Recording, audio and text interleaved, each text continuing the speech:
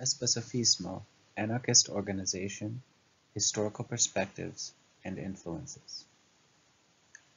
Since the term especifismo arrived in Brazil in the mid-1990s, there has been a series of polemics or even confusions around it. There were, and unfortunately still are, people who say that especifismo is not anarchism. They accuse especifista organizations of being political parties, among other absurdities. When we identify the FARJ as a specific anarchist organization, we are seeking more than anything else to locate within the discussion about anarchist organization what the positions that we espouse are. The term especifismo was created by the Uruguayan Anarchist Federation, Federación Anarquista Uruguaya, FAU, and by it we refer to a conception of anarchist organization that has two fundamental axes, organization and social work slash insertion. These two axes are based on the classical concepts the classical concepts of differentiated situation of anarchism in the social and political levels, Bakuninist concept, and specific anarchist organization, Malatestan concept. Therefore, the term especifismo, besides having been recently conceived, refers to anarchist organizational practices that have existed since the 19th century. In addition to these two axes, there is a series of other organizational questions that are defined within especifismo and that we seek to develop next. Therefore, the two main classical references of especifismo are Bakunin and Malatesta. This does not mean that we disregard other important theorists, such as Proudhon and Kropotkin. We have used many of their theoretical references in this text, but we believe that, for the discussion on anarchist organization, Bakunin and Malatesta have proposals more suitable for our work. In the following paragraphs, we intend to briefly resume some discussions that we've had throughout this text and especially this last chapter, and locate them and compare them with other positions that exist within anarchism. We believe that more than affirming the positions we advocate, what we've done so far, it is fitting to realize a few fraternal critiques of other conceptions of organization, or disorganization, present within anarchism and, based on a few selected points, to compare our conceptions with others. Perhaps the best contrast with the especifista model of organization would be what we call the synthesis model, or synthesism. This model was theoretically formalized in two hom homonymous documents called the Anarchist Synthesis, one by Sebastian Faure and the other by Voline. Historically and globally, it was the platform of Dielo Truda that established this contrast. We intend to resume part of this debate about anarchist organization, although, in our view, especifismo is broader than platformism, even though it, the latter, possesses a significant influence. Synthesis advocates a model of anarchist organization in which all the anarchists, anarcho-communists, anarcho-syndicalists, anarcho-individualists, etc., and therefore it presents many of the characteristics that we criticize below. We know that some of these characteristics are not necessarily linked to the synthesist model of organization. However, it is undeniable that many of them are reproduced in organizations of this type, primarily through the influence of individualism, but not only this. We recognize that within synthesist organizations, there are also serious militants committed to social anarchism, and therefore we do not want to the criticism to seem generalized. Although we never question whether these organizations are anarchist, for us they all are, they do not in most cases converge with our way of conceiving anarchist organization.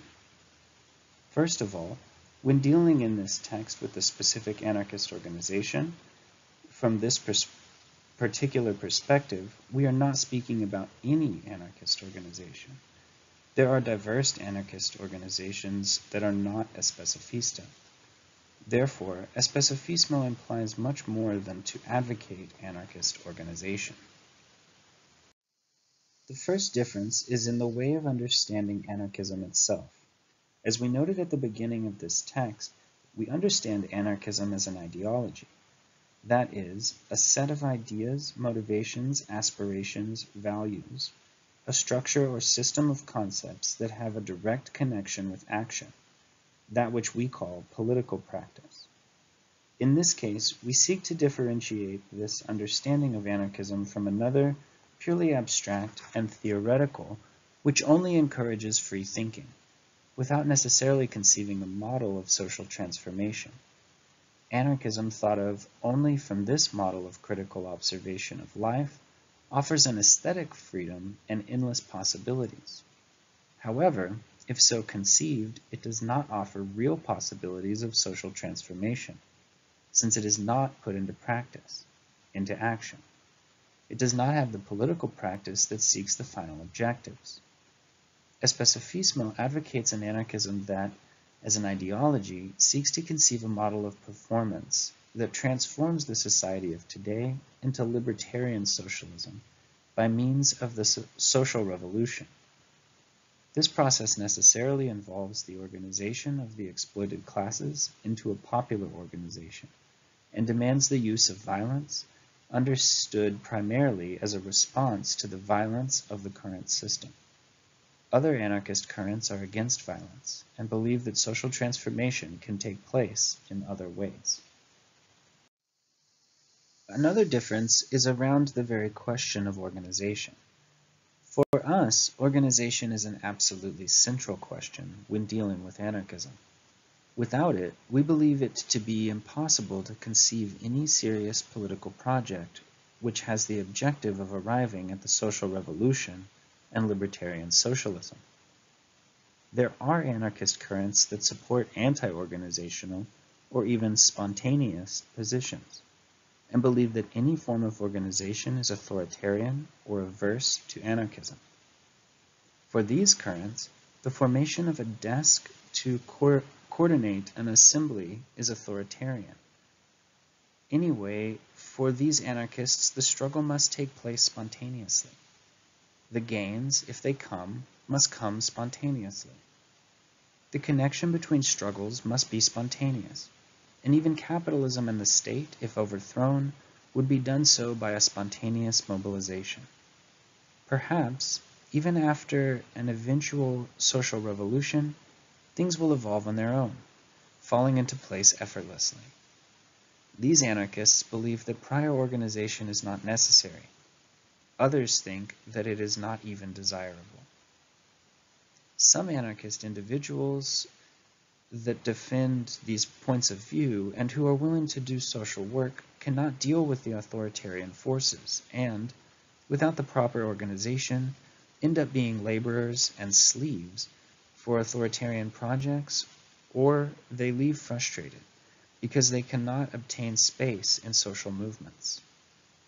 We noted earlier that we conceive of the specific anarchist organization as an organization of active minority. Thus, it is an organization of anarchists that group themselves together at the political and ideological level, and that carry out their main activity on the social level, which is broader, aiming to be the ferment of struggle. In the Especifista model, there is necessarily this differentiation between the political and the social levels of activity. Differently, there are anarchists who conceive of the anarchist organization as a broad grouping that federates all those who call themselves anarchists, serving as a convergent space for the realization of actions with complete autonomy. In anarchism, broadly speaking, this division between the social and political levels is also not accepted by all the currents, which understand the anarchist organization in a diffuse manner it being able to be a social movement, an organization, an affinity group, a study group, a community, a cooperative, etc. Even the concept of anarcho-syndicalism at various times sought to suppress the difference between levels of activity, blending anarchist ideology with trade unionism. These and other attempts to ideolo ideologize social movements in our understanding weaken both the social movements, which no longer operate around concrete issues like land, housing, employment, etc., as well as anarchism itself, since, since it does not allow for the deepening of ideological struggles which occur in the midst of the social movement. It also weakens, since the goal of these anarchists to turn all the militants of the social movement into anarchists is impossible, unless they significantly reduce and weaken the movements. In this way, or even on seeing that it is natural to find people of different ideologies and social movements that will never be anarchists, these anarchists get frustrated and often shy away from struggles. As a consequence of this, anarchism is often confined to itself. The anarchist organization of active minority is often understood by other anarchist currents as similar to authoritarian vanguard organization. As we have made sure to point out, when we conceive this separation between the social and political level, we do not mean to say that this say by this that we wish to be in front of the social movements, nor that the political level has any hierarchy or domination in relation to the social level. There is also a difference in relation to the preferred space for the practice of anarchism. We, as especifistas, believe that this space is the class struggle, primarily because we consider that we live not only in a society, but in a class society. Regardless of how we think of the differences of these classes, it seems impossible to us to deny that domination and exploitation take place at different levels in our society and that the economic factor has a lot of influence on this. For us, anarchism was born among the people, and that's where it should be, taking a clear position in favor of the exploited classes that are in permanent conflict in, this, in the class struggle. Therefore, when we talk about where to sow the seeds of anarchism, for us it is clear that it, is, it has to be within the class struggle in the spaces in which the contradictions of capitalism are most evident. There are anarchists that do not support this class struggle bias of anarchism, and what is worse, there are those that accuse it of being assist, assistentialist, or of wanting to apologize for the poor. Denying the class struggle, most of these anarchists believe that as the classic definition of bourgeois and proletarian classes does not take today's society into account, then one could say that these classes no longer exist, or that this would be an anachronistic concept. We fundamentally disagree with these positions and believe that, regardless of how we define classes, whatever we put more or less emphasis on the whether we put more or less emphasis on the economic character, etc., it is undeniable that there are contexts and circumstances in which people suffer more from the efforts from the effects of capitalism. And it is in these contexts that these circumstances that we want to prioritize our work. When we seek to apply anarchism to the class struggle, we assert what we call social work and which we defined earlier as the activity that the anarchist organization performs in the midst of the class struggle, causing anarchism to interact with the exploited classes. As we also said, for us, this should be the main activity of the specific anarchist organization.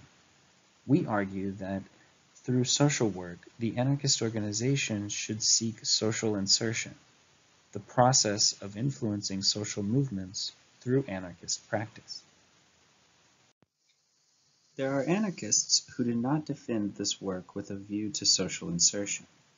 Part do not believe that it is a priority, and the other part, which is more complicated, believe that it is authoritarian. For anarchists who think that social work or insertion is not a priority, it seems that other activities would be more effective in the development of anarchism. However, it is often not stated.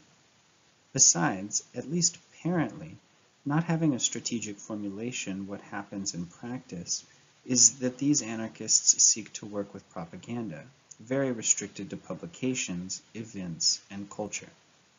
As we have already emphasized, this propaganda is already this propaganda is also central for us, but it is not enough if done without the backing of social work and insertion. With this support, propaganda is much more effective. Therefore, propaganda in especificismo should be performed with these two biases, educational slash cultural and struggle with social movements. Anarchists who do not believe that social work or insertion are, nor should be a priority, prefer to work in other mediums, far away from the class struggle from social movements, from people of different ideologies. Some say that as members of society, they already have social insertion. Often, they become sectarian, managing to get along only with their peers and ghettoizing anarchism. This explains the sectarianism of some anarchists, which occurs in much smaller proportion with specific organizations. Much more complicated than the above position is the position advocated by anarchists that are against social work and insertion. These anarchists believe that as they are often not poor, as they are often not in social movements, they are not landless, for example, it is authoritarian to work with a poor community or even with social movements, since they are from outside this reality. For them, it is authoritarian for a person who has somewhere to live to support the struggle of the homeless. It is authoritarian to frequent a community movement without being from the community. It is authoritarian to support the waste pickers' struggle if you are not one of them. For these anarchists, there is only legitimacy in working with popular movements if you are a popular, and if you are part of this reality of the movement. As these anarchists are generally not in these conditions, they do not approximate themselves to social movements, nor to the class struggle. They end up making of their anarchism a movement in itself, which is characterized by being essentially of the middle class and intellectuals, by not seeking contact with social and popular struggles, by not being in contact with people of different ideology. Indeed, this anarchism of the intellectual and middle class, when not seeking social work and insertion, necessarily ends up in one of two ways. Either it abandons the proposal of so for social transformation, or constitutes itself into a group that fights for the people, not with the pe that fights for the people, not with the people, assuming the position of vanguard and not of active minority. Social work for these militants is often compared to the entryism of the authoritarian left. People that enter into social movements to make them work for their favor. In most cases, they advocate spontaneity, since to come from outside, to put anarchism within social movements, is authoritarian. According to them, ideas should arise spontaneously, they denounce discussion, persuasion, convincing, exchange, influence as external to social movements, and therefore authoritarian. We as especificistas also radically disagree with this position against social work and insertion. As we explained, for us, anarchism should not be confined to itself, nor shy away from social movements and people of different ideologies. It should serve as a tool, like yeast, as the engine of the struggle of our time. For this, anarchism, instead of hiding, should confront reality and seek to transform it. For this transformation, it is useless to preach to the converted. We have necessarily to interact with non-anarchists. Since we understand that class is not defined by origin, but by the position that you advocate in the struggle, we believe that to support social movements, to assist mobilizations and organizations different to the reality in which you are included, is an ethical obligation for any militant committed to the end of class society. Finally, we believe that social work brings necess necessary practice to anarchism, which has an immense contribution in the development of the theoretical and ideological line of the organization. This activity is for us extremely important in our theoretical development, since it means that we theorize while having knowledge of reality and the practical application of anarchism in struggles. Groups and organizations that do not have social work tend to radicalize a discourse that does not have support in practice.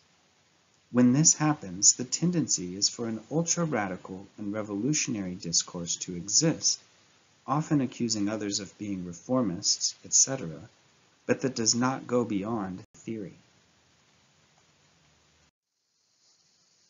As we have seen, in Especifismo there is ideological and theoretical unity an alignment in relation to the theoretical and ideological aspects of anarchism. This political line is collectively constructed, and everyone in the organization is obliged to follow it.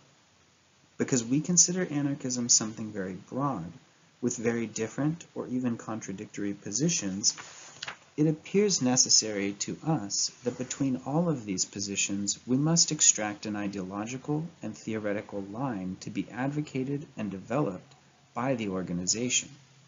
As we have emphasized, this line must necessarily be linked to practice, since we believe that to theorize effectively is essentially to act. For anarchists that do not advocate this unity, the anarchist organization could work with different ideological and theoretical lines. Each anarchist or group of anarchists may have their interpretation of anarchism and their own theory. This is motive for various conflicts and splits in organizations with this conception. As there is no agreement on initial questions, the fights are frequent, as some think that anarchists, that anarchists should do work with social movements, Others find this authoritarian and a Marxist thing. Some think that the function of anarchism is to enhance the ego of individuals. Others are radically against this, and so on. For us, there is no way to have an effective practice or even constitute an organization without agreeing on some initial questions. In organizations that do not work with ideological and theoretical unity, there is no development in this direction, since with so many problems on the simplest questions, the most complex don't even come to be discussed. Bakunin was right when he said, quote, who embraces much tightens little,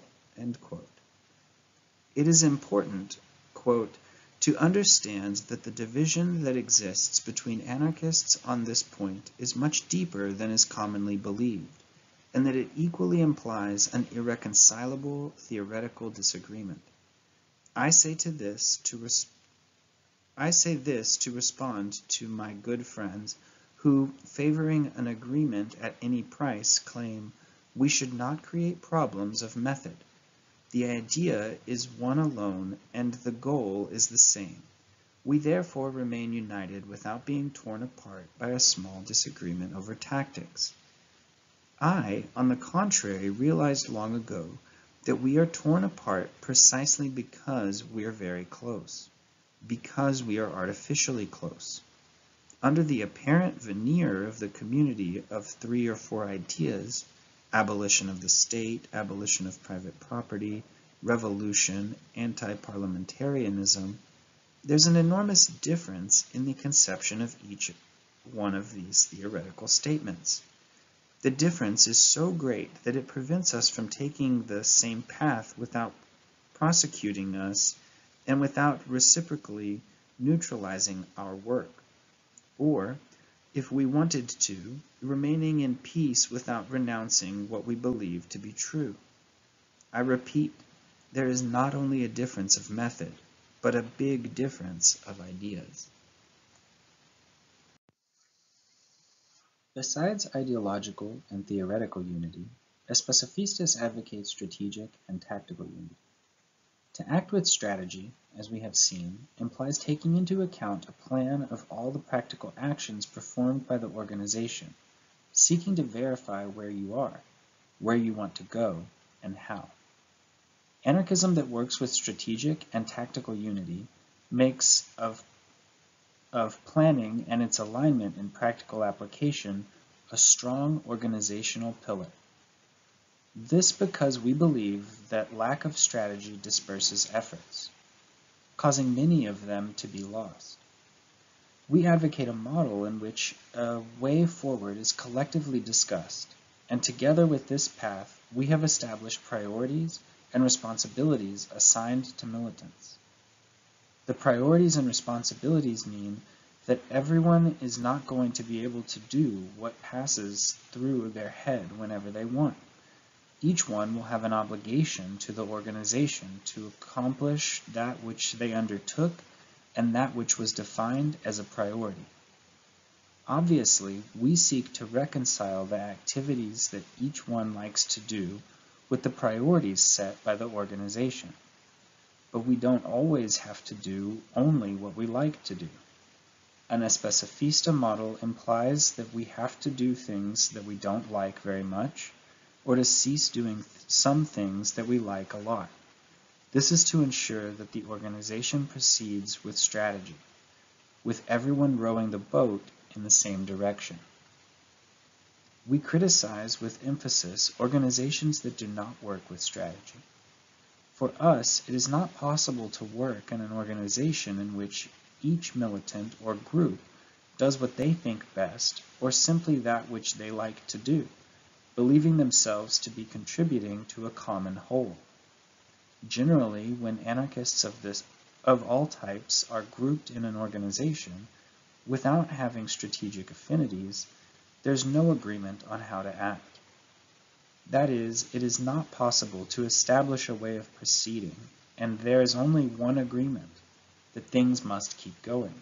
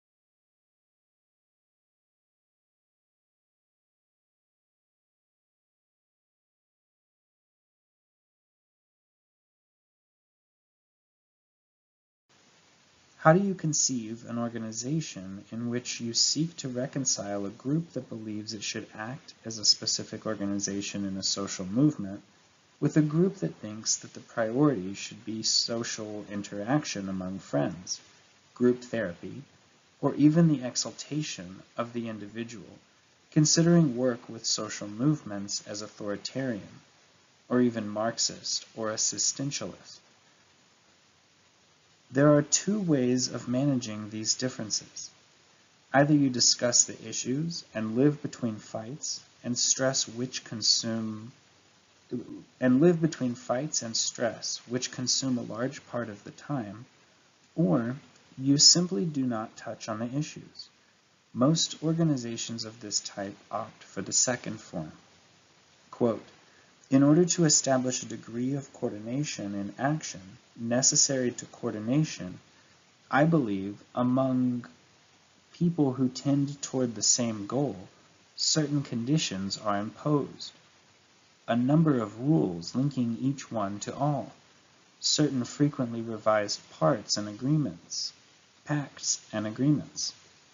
If missing all this, if each one works as they please, the more serious people will find themselves in a situation where the efforts of some will be neutralized by those of others. From this will result disharmony, and not the harmony and serene confidence to which we tend.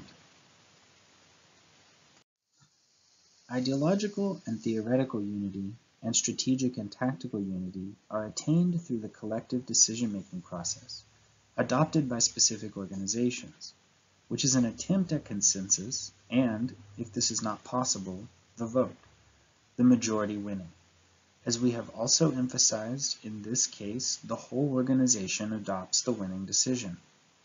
Differently, there are organizations that only work with consensus, often allowing one or other person to have an exacerbated influence on a decision-making process that involves a much larger number of people. Seeking consensus at any cost and afraid of splitting these organizations allow for one or another person to have a disproportionate weight in decisions only in order to achieve consensus. Other times, they spend hours on discussion of little importance only to seek consensus. We have in mind that the decision-making process is a means and not an end in itself. The obligation every, of everyone to follow the same path which is a rule in Especifismo, is a commitment that the organization has to its strategy.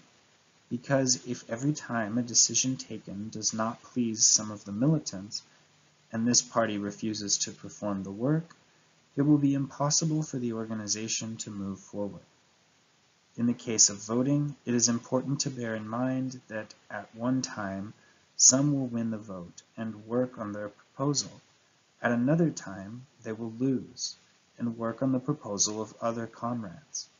With this form of decision-making, it gives more importance to collective deliberations than to individual points of view. There is a difference, even, on the central points that favor the specific organization. The commitment, responsibility, and self-discipline of militants within the organization. In the Especifista model, there is a high level of militant commitment. Thus, it is essential that the militants assume commitments before the organization and implement them. Militant commitment imprints a link between militant and organization, which is a mutual relationship in which the organization is responsible for the militant as well as the, as the militant being responsible for the organization as well as the organization owing satisfaction to the militant, the militant owes satisfaction to the organization. Lack of commitment, responsibility, and self-discipline constitutes a major problem in many anarchist groups and organizations. It is very common for people to come together and to more or less participate in activities, doing only that which interests them, often participating in decisions, assuming commitments, and not fulfilling them, or simply not assuming commitments. There are lots of organizations that are compliant with this lack of militant commitment. It is undeniable that, for this reason, these organizations are cooler to be part of. However, they are not very effective from a militant point of view, as militancy, for us, is something necessary in the struggle for a free and egalitarian society we do not believe that it will always be cool. We have, if we had to choose between a more effective model of militancy and another more cool, we would have to opt for effectiveness. For work with militant commitment, Especifismo maintains an organization with levels of commitment. As we have explained, we advocate the logic of concentric circles, in which all militants have a well-defined space in the organization, a space which is determined by the level of commitment that the militant wants to assume. The more they want to commit themselves, the more inside the organization they will be, and the greater will be their deliberating power.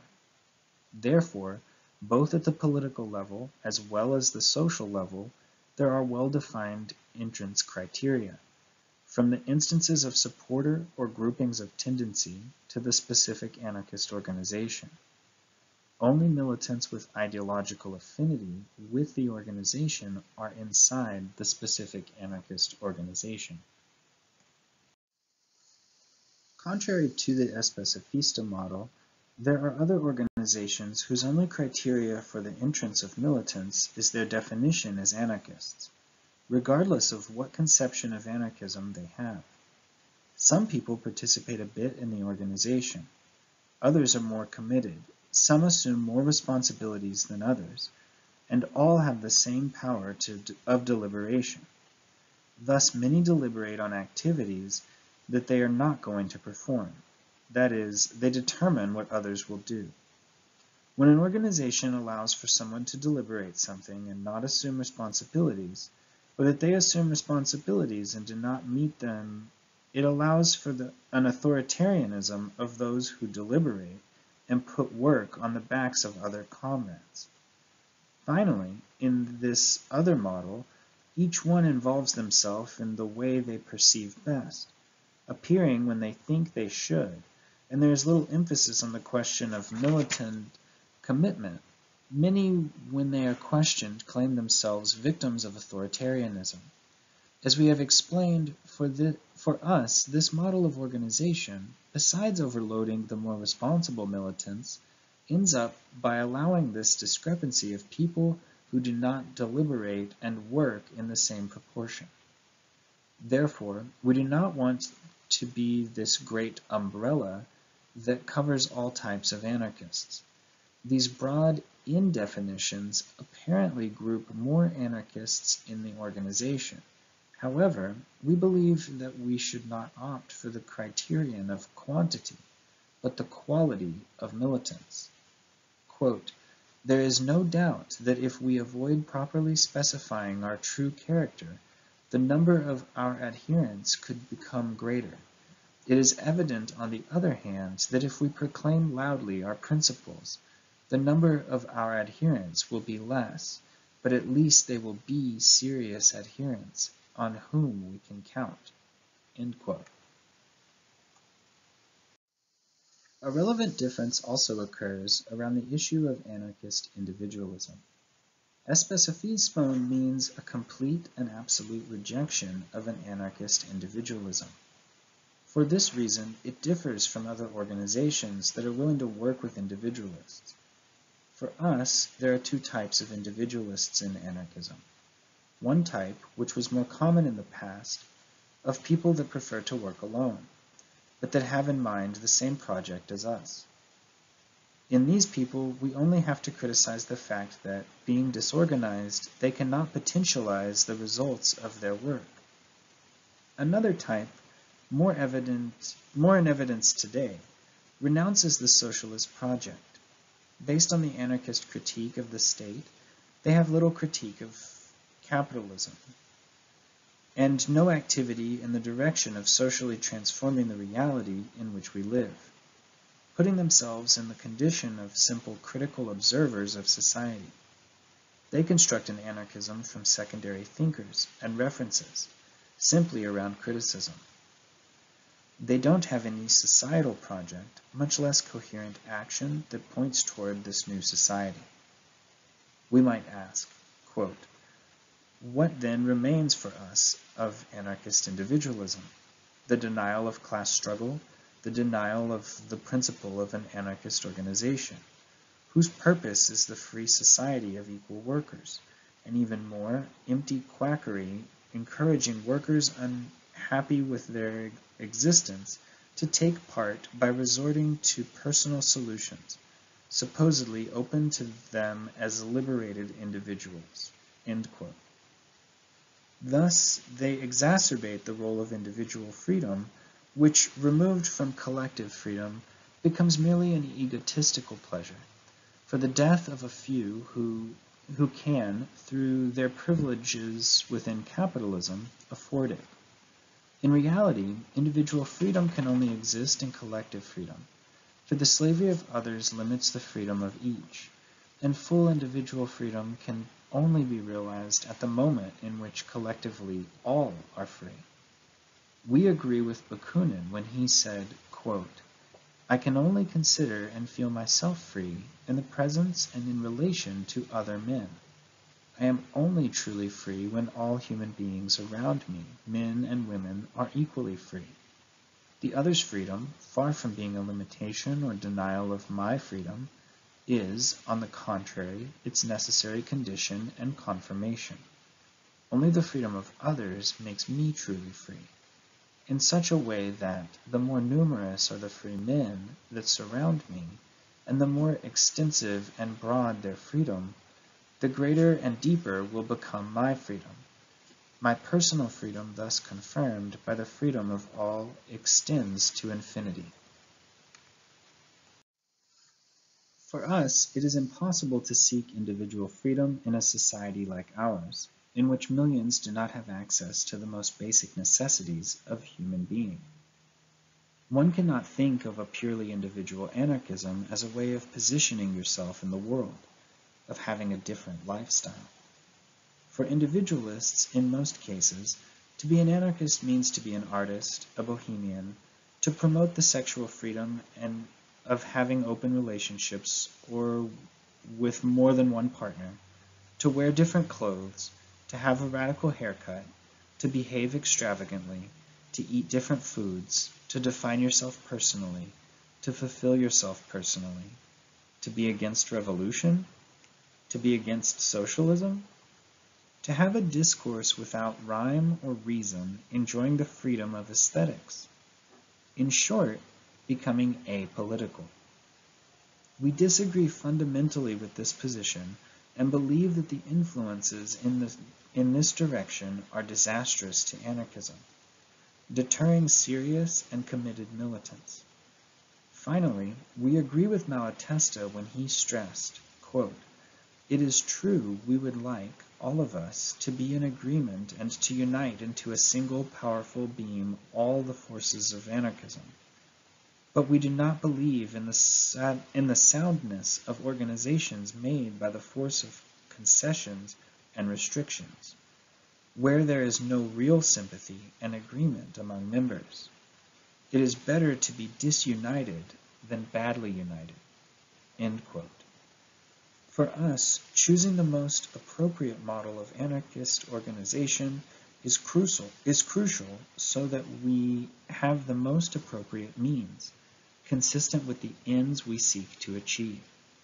If we advocate a especifismo, which is a form of anarchist organization, it is because we believe that it is today more suitable for the work we intend to perform. We understand that there are anarchists who do not agree with especifismo, and we do not think that they are less anarchist because of it. We only demand respect for our choice such as we respect those who have made other choices. We now turn, briefly, to Especifismo's historical perspective and influences. As we have seen, the term Especifismo was developed by the FAU and only arrived in Brazil in the late 20th century. Nevertheless, this term, more than creating a new conception of anarchist organization, sought to group a series of already existing anarchist organizational conceptions, which took shape starting from the 19th century. The Especifismo of the FAU asserts the influence of Bakunin and Malatesta, of the class struggle of anarcho-syndicalism, of expropriator anarchism, all this within a Latin American context. We will attempt to explain in the following paragraphs, from our own conception, how we understand the historic experience of especifismo, the main past experiences, in terms of anarchist organization, which influence us today. Especifismo's first historic reference is Bakunin, from the organizational conceptions that constituted the activity of the libertarians within the International Workers' Association, IWA, and which gave body to anarchism. The IWA was articulated from the visits of the representatives of the French workers' associations of, to England, where they contracted English and exiled German Union leaders, amongst the latter Karl Marx. Politically, the composition of the IWA appeared heterogeneous. Marxists, Blanquists, Republicans, trade unionists, Proudhonian Federalists. The Marxists ended up by forming a majority in decision-making in the Central Committee, aligning themselves with members of other currents and taking control of that body. This situation persisted even after the substitution of the Central Committee by the General Council in the 1866 Geneva Congress. There one, there one saw that the anarchists, be they inspired by Proudhon or followers of Bakunin, did not have any force in the central executive of the association. They were more influential through the grassroots, showing this in the congresses. Two tendencies developed within the IWA one centralist and one federalist. Among the authoritarian centralists stood out the communists, theoretically and politically guided by Marx, who counted on the IWA as an instrument to bring the proletariat into political power. They sought to constitute a workers' state apparatus for the transformation of capitalist society into communism through an intermediate period of reorganization necessarily to be undertaken under a dictatorship. Among the libertarian federalists were the anarchists, who advocated social revolution with the immediate abolition of all bodies of authority and the formation of a new society based on the free and federative organization of workers, according to their occupations, problems, and interests. This basic divergence had been present from the beginning and was already clearly visible at the Geneva Congress, the first plenary meeting of the International. Against the authoritarians were the Proudhonian mutualists, who led the debate supported by collectivists that already belonged to the IWA before Bakunin had affiliated himself to it.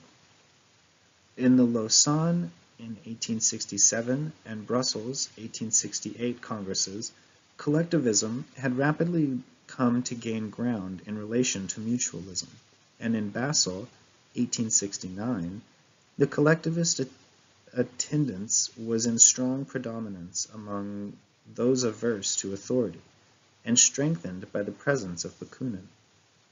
In the competing camp, Marx, while avoiding to make personal commitment in the Congress, made his interventions through programs, reports, newsletters, and proposals of the Council. In Basel, Bakunin presented a proposal against the right of inheritance. Marx opposed him, but the proposal was approved. Still, in the context of the IWA, Bakunin, together with other anarchist militants, formed the Alliance of Socialist Demo Democracy, which would be accepted as a section of the IWA in 1869. We understand the Alliance as a specific anarchist organization on the political level that operated within the IWA on the social level. The Alliance was an organization of active minority composed of the most secure, most dedicated, most intelligent, and most energetic members, in a word, by the closest. It was formed to act secretly in order to address the issue that one could not publicly address and to act as a catalyst in the labor movement. The Alliance defined the relation between the social and the political levels, quote, the alliance is the necessary complement of the international, but the international and the alliance, while tending towards the same final objective, pursue different goals at the same time. One has as its mission to unite the laboring masses, the millions of workers, across the differences of nations and countries across the borders of all states, into one immense and compact body. The other, the Alliance, has as its mission to give to the masses a truly revolutionary direction. The programs of the one and the other, without being opposites at all, are different by the degree of their respective development. That of the International, if we take it seriously, is also a germ, but only in germ the whole program of the Alliance. The program of the Alliance is the ultimate explanation of the program of the International. The practice of the Alliance within the IWA caused the authoritarian tendency to seek to isolate and discredit the practice of the libertarians. After the Basel Congress, attacks on the collectivist group intensified. In 1870, Marx directed two private communications of the General Council to the IWA sections, with severe criticisms of the Bakuninist positions. With this, he prepared the climate for the London Conference of the following year, during which the Marxist group attempted to impose the doctrine of the conquest of state power, and for the Hague Congress of 1872.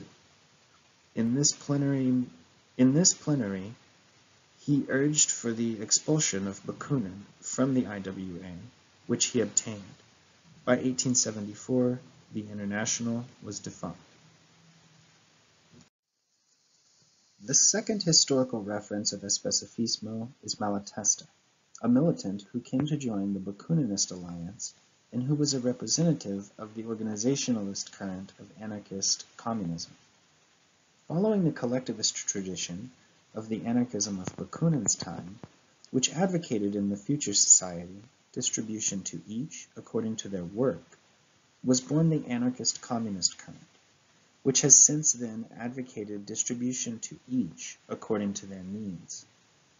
Malatesta was characterized by defending, within this current, positions against evolutionism and scientism, present in a large part of the socialist movement.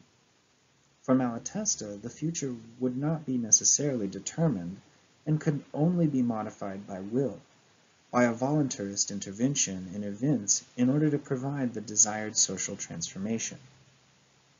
Outspoken critic of individualism, Malatesta advocated an anarchism based completely on organization, an anarchism that we could call organizationalist, and that, like the anarchism of Bakunin, maintained a distinct role at the social and political level. At the political level, Malatesta developed his conception of the specific anarchist organization, which he called the Anarchist Party. By Anarchist Party, we understand all those who want to contribute to achieving anarchy, and that consequently they need to set an objective to be achieved and a road to travel. This organization should act in the so-called mass movements of the time and influence them as much as possible and the unions were the preferred terrain chosen for anarchist activity. Malatesta clearly pointed out the difference between the political level of anarchism and the social level, the space of insertion which was constituted at the time by syndicalism. In my opinion, the labor movement is no more than a means. Their, though there is no doubt that it is the best means we have but I refuse to accept this means as an end. Syndicalists, on the other hand, have a certain propensity to transform the means into ends and consider the parts as a whole. And in this way, for some of us, syndicalism begins to be transformed into a new doctrine that threatens the very existence of anarchism. I lamented, in the past, that comrades isolated themselves from the labor movement. I lament today that at the other extreme, many of us allow ourselves to be swallowed by the same movement. Once again, the organization of the working class, the strike, direct action, boycott, sabotage, and armed insurrection itself are only the means.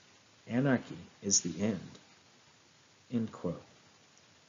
Advocating an anarchism that seeks social transformation from will Malatesta believed, as we believe today, that the specific anarchist organization should act within the class struggle, in the midst of the social movements, and, with them, reach the social revolution and libertarian socialism, which he called anarchy. For this, Malatesta sought to create both specific anarchist organizations, as in the case of the Italian Anarchist Revolutionary Socialist Party, and the Italian Anarchist Union. as well as organizations that acted at the social level, as in the cases of the Italian Syndical Union, the Labor Alliance, and the unions of Argentina. The positions of Malatesta were widely disseminated by Luigi Fabbri, another Italian anarchist communist, who also made significant contribution to Especifismo. An important experience for Especifismo in our conception was also that of Magonismo in the radical phase of the Mexican Liberal Party, PLM. Ricardo Flores Magon, its most active militant, joined the PLM in 1901, it having been founded a year earlier. During the Porfirio Diaz dictatorship, both the PLM and the journal Regeneracion were major opponents of the regime. From the second half of the 1900s, the PLM radicalized, taking a more combative discourse and creating an internal tension within the party, which removed the less radical elements. The PLM did not compete in elections and served only as a space for the political and horizontal articulation of the libertarian revolutionaries of the time. Without objectives of taking the state and establishing a dictatorship, to put an end to the Diaz government, establishing libertarian communism in turn. The PLM became clandestine and organized more than 40 armed resistance groups throughout Mexico, and also had indigenous members known for their struggle for community rights and against capitalist property. After the radicalization, Francisco Madero disagreed that peaceful means to take Diaz's power would be exhausted.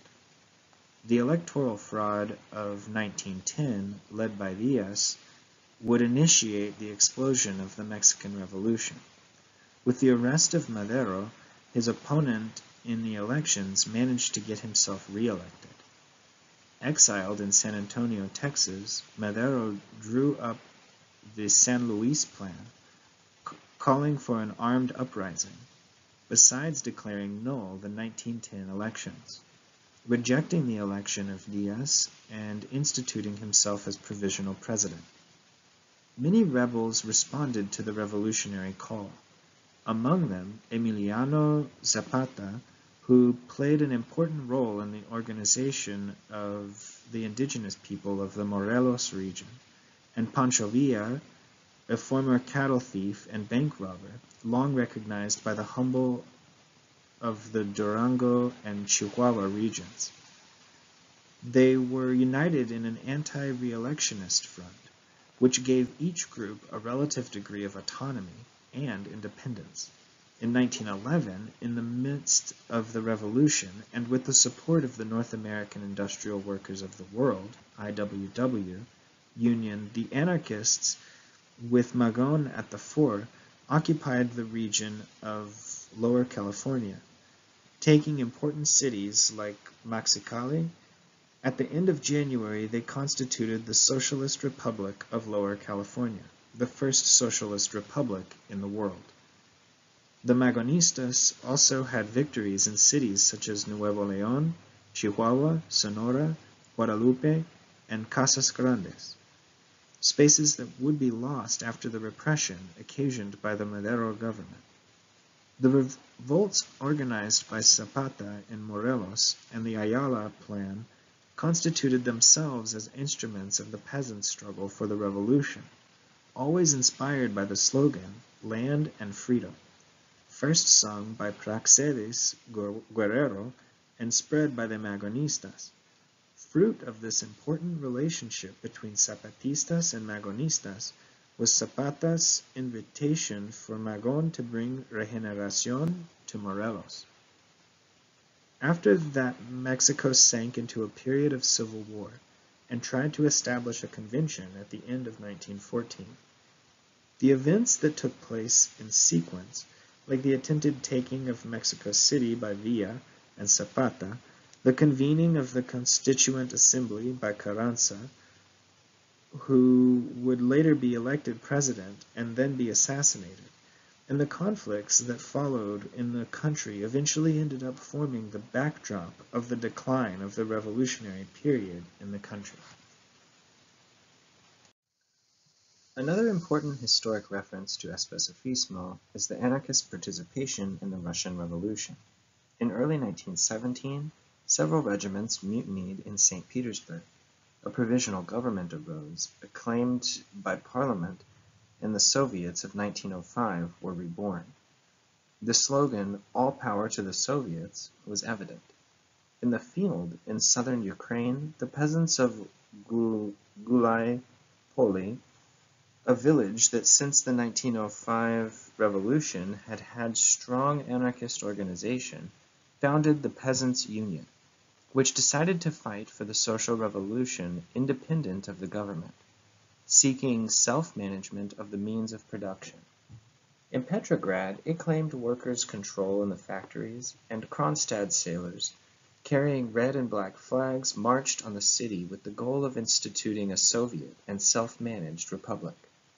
In October, anarchist and Bolshevik soldiers acting in concert were able to take the Winter Palace. Then came a divide between the authoritarian and libertarian revolutionary elements. The former were seizing the state apparatus. The, the former were for seizing the state apparatus and moving towards the dictatorship of the Bolshevik Party, directed by an all-powerful central committee the latter for libertarian and self-managed communism, in the form of councils of Soviets, of workers, peasants, and the people in arms. Progressively, the Bolsheviks began to deny, suppress, impede, and finally prohibit the spread of libertarian ideas and practices. As early as 1918, the, Bolshevik positioned, the Bolsheviks positioned themselves against the workers' control of factories encouraging the blind discipline of workers to the party, and were gradually consolidating the prohibition of opposition to the party. They militarized labor, expelled elected leaders from the Soviets, forced these, so these, the Soviets, to submit to the central power of the party, and prohibited strikes. In the struggle against the White Army, the insurrectionary army of Makhno in the Ukraine allied with the Bolsheviks more than once. On defeating the White threat, the Makhnovist army was attacked and persecuted by the Red Army, forcing the survivors to take refuge in other countries. It was the end of the process of self-managed socialization in the Ukraine, repressively reversed by the Bolsheviks in favor of statist and totalitarian forms of organization and social control under a new ruling class. The Kronstadt sailors who demanded that the delegates to the Soviets go back to being chosen by election, freedom for anarchists and other leftist groups, that unions and peasant organizations return to being united, the release of political prisoners, the abolition of political officers, and the same food for all were killed by the Bolsheviks. Despite this proletarian and libertarian revolution having been usurped and dominated by the Bolsheviks, as from their seizure of the state apparatus, the anarchists sinned by omission on the matter of organization. This reflection was formalized years later by Russian immigrants who were in Europe in a document called the Organizational Platform of Libertarian Communists. Makhno, Arshinov, and, other, and others formalized in this document their considerations on anarchist organization, informed by the experiences of the Russian Revolution. This document brought forward important, important insights about the importance of the involvement of anarchists in the class struggle, the need for a violent social revolution that overthrows capitalism and the state, and that establishes libertarian communism.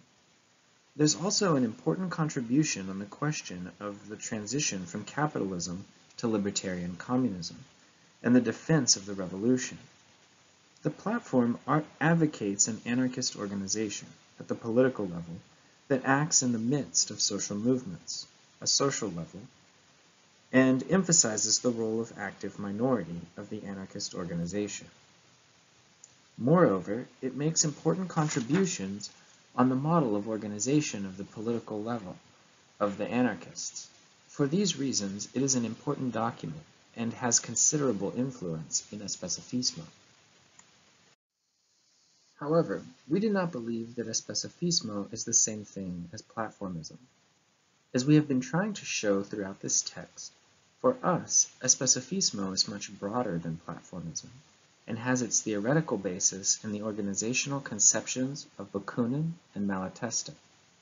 For us, the platform both draws from these authors and brings new contributions, and should therefore be considered as a contribution to Especifismo, but not the most important contribution. Another factor to be taken into account is that the platform was written about an experience of the military action of anarchists in the midst of a revolutionary process, and should not be removed from this context. We understand that this form of organization, as expressed in the platform, should not be applied in, its, in all its details in non-revolutionary situations. It is more a contribution to the discussion of anarchist military action than a document to discuss anarchist organization in all different contexts. As with the Russian Revolution, we also consider the Spanish Revolution of 1936 a reference. During those years, a social revolution was effectively carried out, a revolution under fire that wanted to reach all sectors from unjust economic structures to the daily life of the population, from the decrepit, not, from the decrepit notions of hierarchy to the historic inequalities between men and women, and all this was the work of the anarchists. The influences of anarchism were brought, by, brought to Spain by Giuseppe Fanelli, an alliancist and militant very close to Bakunin. Founded in 1910, the National Confederation of Labor, Confederación Nacional del Trabajo, CNT, was the greatest expression of anarcho-syndicalism in Spain and lived under the 1920s, lived until the 1920s between moments of ebb and flow with constant repression of which it was victim. Founded in 1927, the Iberian Anarchist Federation, Federación Anarquista Ibérica, FAI, was a clandestine organization dedicated to revolutionary activity which, among its objectives, sought to oppose the reformist currents in the CNT. The action achieved success, and the revolutionary anarchists obtained hegemony in the CNT. In 1936, the Popular Front, bringing together the parties of the left, was able to win at the polls. The anarchists of the CNT ended up tactically supporting the front because this would mean the release of imprisoned comrades. With the endorsement of the CNT, the victory of the Popular Front was made possible. However, the fascists did not accept the defeat. On July 18, 1936, the Falangist coup movement breaks out, among which Francisco Franco stood out. Thus began the revolutionary explosion that would throw the country into three years of civil war. In the first phase, July 1936 to early 1937, the anarchists were among the most prominent groups. The action of militants in areas such as Catalonia was exemplary the Republican structures turned into popular organizations in an intense and successful process of collectivization. Factories were occupied and immediate social measures put into practice, such as equal pay between men and women, free medical service, permanent salary in case of sickness, reduced working hours, and increased pay. Metallurgical, timber industry, transport, food, health, media, and entertainment services and rural properties were collectivized. In order to combat the fascist forces, they set up militias that advanced on some fronts, especially the column headed by Buenaventura Durruti. In the second phase, 1937 to 1939, the progress of the counter-revolution was devastating. The Phalangists had massive support from Hitler and Mussolini. The resistance was poorly armed and outnumbered. the international brigades formed to halt the Nazi-fascist advance, had few fighters. Furthermore, there was no help from the liberal nations, France and England, which once again washed their hands. The support from the USSR proved to be a true Greek gift. Within the struggle against fascism, a parallel hunt, promoted by the Stalinists, for the anarchists and unorthodox Labor Party of Marxist unification was taking place.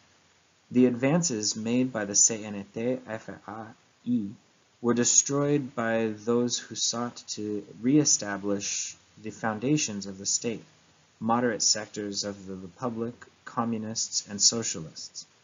The communists began to gain key positions in the government. The anarchists had to give in once more to unfavorable circumstances some members of the CNT ended up participating in the government.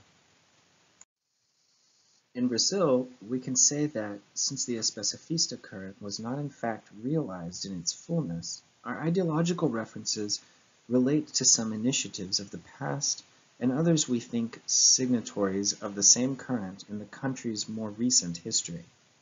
We understand that from the earliest years of the 20th century, Anarchists linked to organizationalism, in particular followers of Malatesta, struggled to organize a possible number of comrades with a view to forming an organization with common strategies and tactics, based on tactical agreements and clear group understanding. It was these who were responsible for conducting the first Congress of Brazilian Workers in 1906, through the initiatives of the most breathtaking of the national anarchism. These anarchists prepared the conditions that allowed for the full insertion of anarchists in the unions and, social, and in social life, with the formation of schools and theater groups, besides a reasonable written production. It was also, to a large extent, the organizationalist current that eventually helped in the preparation of the anarchist insurrection of 1918, the creation of the Anarchist Alliance of Rio de Janeiro, in the formation of the Brazilian Communist Party, libertarian in feature, and in the events that distinguished the anarchists from the Bolsheviks in the 1920s. In this first phase, the names of Neno Vasco, José Oiticica, Domingo Passos, Juan Pérez Busas, Astrojildo Pereira until 1920, and Fabio Luz stand out. Later, after social anarchism had been in slumber for almost two decades, part of the organizationalist tradition resurfaced in the journal Ação Directa, Direct Action, and then, with the consummation of the 1964 military coup, we again lose our main force in this camp, repressed, represented by Ideal Peres and the students of the libertarian student movement, Movimiento Estudiantil Libertario, M-E-L. Finally, another Latin influence on Especifismo that we advocate is the Uruguayan Anarchist Federation, Federación Anarquista Uruguaya, FAU. Formed in 1956 of class struggle and anarcho-syndicalist influences of the organizational models of Bakunin and Malatesta, and of the expropriator anarchism from the Prata River region. Seeking to develop an anarchism that confronts Latino problems, the FAU has since its creation performed work in various fronts. It participated in the trade union activities of the National Convention of Workers, CNT, which had a non-bureaucratic model with internal democracy and class struggle tendencies. Direct action associations were established within the so-called combative tendency. With its illegality being enacted in 1967, the FAU went underground. Even during this period of clandestinity, with a lot of repression and the arrest of militants, the FAU managed to maintain their union activity in the CNT, in the student movement, and in the struggle against the collaborationism of the Communist Party. It, are, it circulated its publication, Cartas de la FAU, Letters from the FAU, In 1968, Worker Student Resistance was founded, a mass organization body which adopted a confrontational strategy with factory occupations, with student participation, and trade unionists in student demonstrations. At the end of the 1960s, parallel to the mass organization, the FAU developed the organization of its armed wing, the People's Revolutionary Organization, 33, Organización Popular Revolucionario 33, OPR 33, which realized a series of sabotage actions, economic expropriations, kidnappings of politicians and or bosses, particularly hated by the people, armed support for strikes and workplace occupations, etc. The FAU abandoned focalism as a paradigm of armed struggle, avoiding militarization while possessing social insertion in the population. With the dictatorship of 1973, the FAU directed its efforts towards a general strike that paralyzed the country for nearly a month. It carried out clandestine work and had several militants arrested, tortured, and killed. With the political opening, it re-articulated itself and developed its work on the Especifista model, which we advocate today, with three fronts of insertion, union, student, and community. In short, our conception of the historical references of Especifismo is not dogmatic. We have broad ideas that start with the ideas of Bakunin and the alliancists in the IWA, go through the conceptions of Malatesta and his practical experiences at the social and political levels, as well as the experiences of Magon and the PLM in the Mexican Revolution. We are also influenced by the experiences of the anarchists in the Russian Revolution, with emphasis on the Makhnovists in the Ukraine, and the organizational references made by the Russians in exile, as, we all, as well as the experiences of the anarchists in the Spanish Revolution around the CNT FAI. In Brazil, we have influences from anarchist organizationalism, highlighting the experiences of the 1918 Anarchist Alliance of Rio de Janeiro and the 1919 Libertarian Communist Party. Finally, the influences of the FAU, both in their struggle against the dictatorship as in their activity in fronts with unions, community, and student movements. This whole set of conceptions and experiences contributes today to our conception of especifismo, Currently, especifismo is advocated by various Latin American organizations and developed in practice, even if not by this name, in other parts of the world.